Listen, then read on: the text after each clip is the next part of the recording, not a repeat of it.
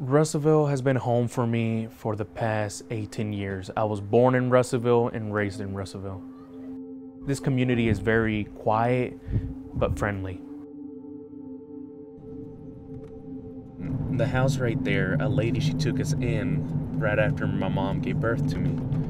She took us in, my dad making his low income. He always did his best to try to pay her back. My parents, they struggled trying to give me the best that they could. They had to immigrate from El Salvador. It was harder over there for them due to a lot of the crimes that were happening, the poor living conditions. It was the only option to start a better life.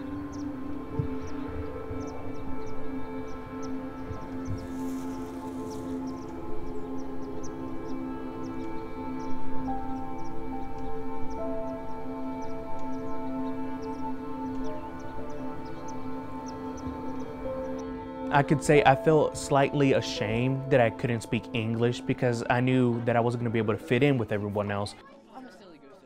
Around the age of five or six was when I started getting into English a little bit more. The best way that I learned how to speak English was by reading easy books. And teachers, they would, you know, sit with me and start letting me understand how to read them, sound them out. I feel that at the time the resources they were very limited but now they're very out there, they're very widespread. Russellville has grown to be a little town for Latinos. And a lot of the American people that are here, they adapted to it because they have seen what we have gone through and what we all want is peace and just to be allowed to work and to fit in.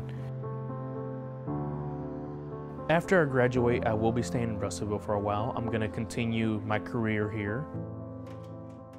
Now that I'm in high school, I was introduced with HVAC, and I really like it because it involves engineering, it involves manufacturing, a little bit of welding.